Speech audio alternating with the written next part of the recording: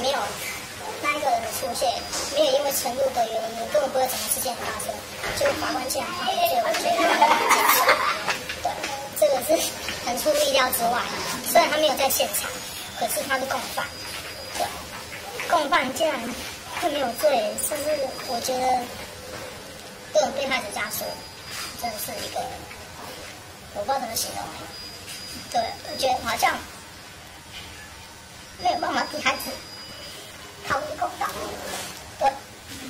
那主嫌的心度的部分，主嫌刑度，我觉得应该被判无期徒刑，因为他下手那么重，然后大家都没办法醒悟，然后没有办法，连孩子跟我说最后一句话，看我最后一点机会都没有。这是我人生中最遗憾的地方。今天就是宣判特地也是过来听这个结果。对，就想要第一时间先知道这个审判的结果这样子。